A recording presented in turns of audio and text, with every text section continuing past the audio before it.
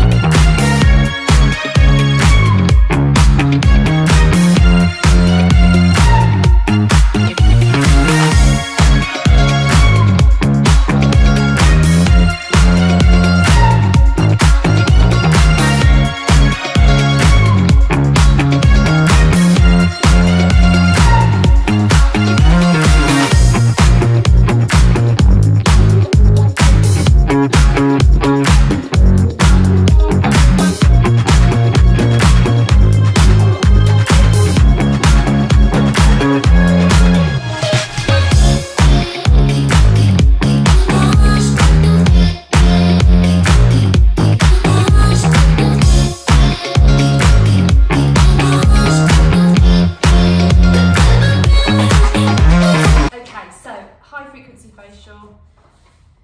How did you feel that it went? Yeah, felt quite comfortable with the machine. Yeah. Other than when it would heat up. Took ages. Yeah, but do you see what I was trying to show Yeah. you? You want to get that bit. You can't just get that bit warm, so you Yeah. were touching that bit to make sure.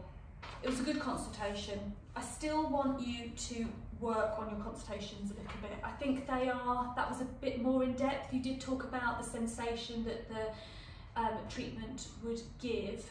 But perhaps I think you struggled with a descriptive word to use, Yeah. and so then the ones that you were trying to use possibly weren't the right ones.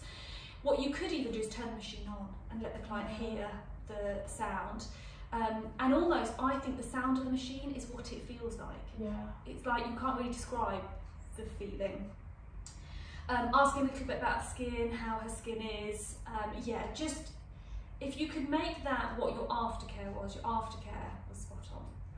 Um, but you had lovely client care, um, so you did wrap her up. Um, I liked the rapport that you built with her. You talked to her about her nails, and yeah, that was really lovely. You prepared her skin really effectively, so good cleanse and exfoliation, and then you brought on the high frequency um, really well. Yes, it did take a while to warm up, and I think when it, that doesn't happen instantly, it can panic you, but actually it worked, and you worked on all the areas really nicely.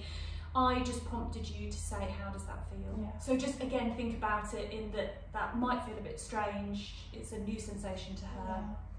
Um, so checking the client's well-being is really important. Lovely facial massage after the high frequency had taken place. The client looked like she relaxed really well at that point. Good timing of your treatment, which is something that you need to be aware of, but that was really good. And finish to the skin was lovely as well. And you gave very thorough aftercare advice, well done. That part you've nailed. The treatment part you've nailed. Now it's just that consultation. And I think the problem is when you first face with a client, you've never met them, it's a bit nerve wracking. was oh, like rushing to it. Yeah, and then you just think, oh, I don't really know what I'm saying. Yeah. So, like when I said to you when you're washing your brushes and your sponges, right, really think about your aftercare advice now. Do that at the start before your treatment. Because that can make, if the client feels comfortable after the consultation, as soon as they get on the couch, the results are going to speak for themselves.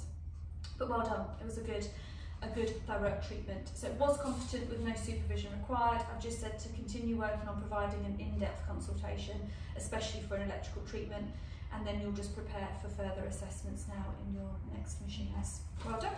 So if you're happy, if you can sign there for me. Oh, sorry, I didn't mean to interrupt. Um, Jane would like a glass of water, so do I go downstairs? No, in the bathroom, there's a jug and some little glasses on the side. You can do that. A jug? Yeah, there's a jug in the bathroom. But already filled with water? Mm-hmm. So it's Wednesday, I am in my lunch break and I'm now parked outside the physio. Um, so I made an appointment after Sunday. I contacted, we know, I know a physio guy quite well because he worked at Burley for a little while during the lockdowns when he couldn't work from the gym that he was working from.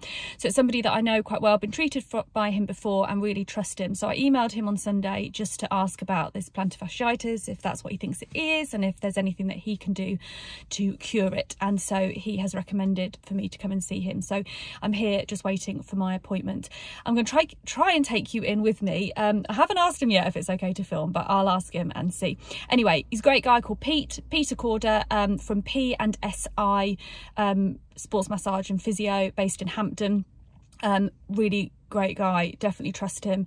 Um, and so hopefully, in this one session alone, he's going to cure me. We'll soon find out.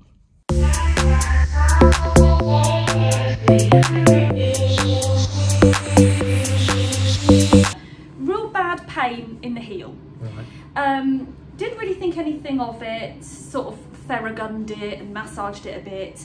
Um, and then like the next day it wouldn't be great. But then I'd go for another run and it would ease off as I ran. Right. So I never really thought it was any particular injury because every time I ran it sort of felt better. But the day after running would be sore. So I've been doing all the things they've told me. So I've been using a spiky ball, rollering my foot, I've been icing it, I've been rollering my calves, I've been stretching. Um, and I haven't run for two weeks. Is there any other time you become aware of it? What's I- it like first thing in the morning? Yeah, so that's probably the most painful. So if you've been sat in a chair at work and you get up, uh, you That's probably when I'll be right. most aware of it, yeah. How would you describe the pain? It's all in the sole, it's all in the heel. So is it quite sharp, stabby, throbby, achy? How would you describe Yeah, it? so achy is probably quite a good word.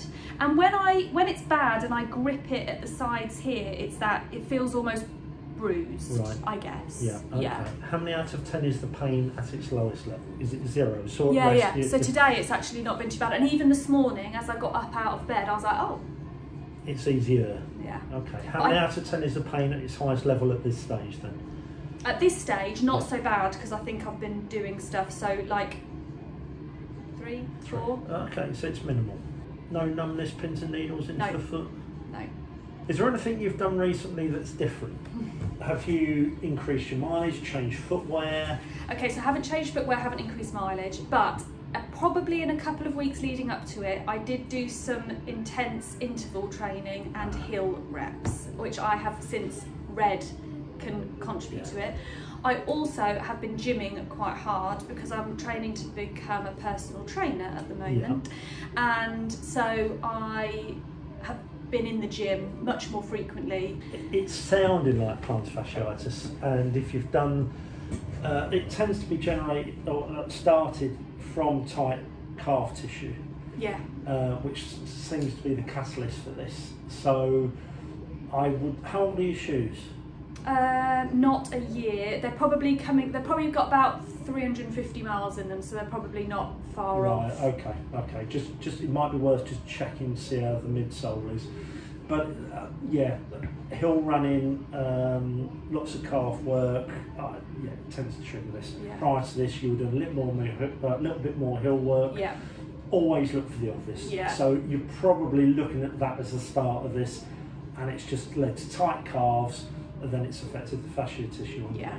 So I would suggest that's probably what's going on. Okay. We'll, we'll, we'll assess it, just Yeah. check it, make sure there's no ankle problems there. because it felt better when I ran. I thought, oh well, it can't be anything bad because it feels better. But then I've now read that that's Yeah, often the case happens, with yeah. plantar fasciitis. So what, what's happening here is that with feeling 80% improved, yes, you could put that down just a period of rest, but also the fact you've done your research, you're stretching your calves, Yeah. you're doing your front running, I've done everything. you're doing your spike ball and sole foot.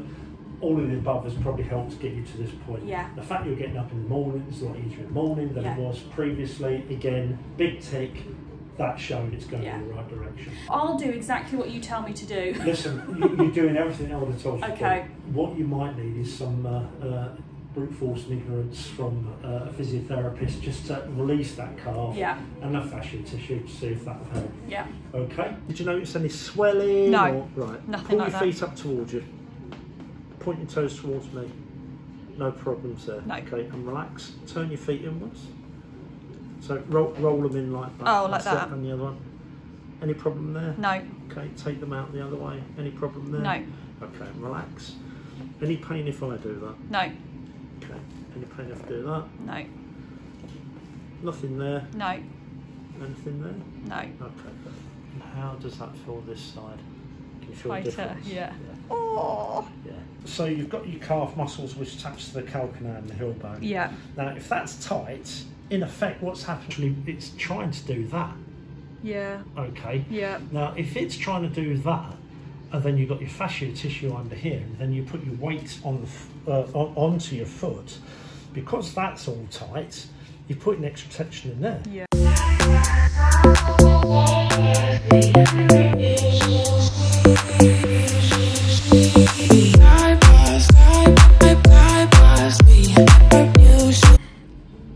So how long do you think I should keep off from running for? We need to get you to the point where you're getting up in the morning, not getting pain. Oh yeah. And once we get to that point, Yeah. and you're just walking around without thinking about it, Yeah. we need to start talking about getting you running again. Yeah. So just finished physio. Um, that was quite a painful experience, but it was really good. And Pete is so knowledgeable. He's just put my mind at rest. Um, my calf is excessively tight. So even though I'd been rollering it and massaging it and all the things that I should have been doing, um, it was still so tight. So the massage that he did already I can feel is so much looser. He also massaged, as you could see, into the fascia as well into my foot, which again, I had been doing. And he said that I've been doing all the right things, which is really good to hear. Um, so it was definitely better because of what I'd been doing. But oh my goodness, when he worked into that, it was so tight and it was really painful. So I've got another appointment booked for a week's time. Um, and he said that as soon as there's no discomfort at all, particularly when I get up and out um, first thing in the morning, out of bed, then I am good to start running and just increasing um, the distance slowly. So there's light at the end of the tunnel. I didn't need to ugly cry on Sunday. All's well that ends well. Um, and I look forward to seeing the benefits. So it's Saturday, just got home from work, quick shower and change, and we are off on date night. Lola is at a friend's sleepover, there's lots of girls all getting together, um, so she is going to be partying, so we decided that we would do the same. Um, so we are walking to Chiquitos, have a little bit, a bit of Mexican, a couple of margaritas, and then we'll probably be in bed by nine o'clock with a cup of tea.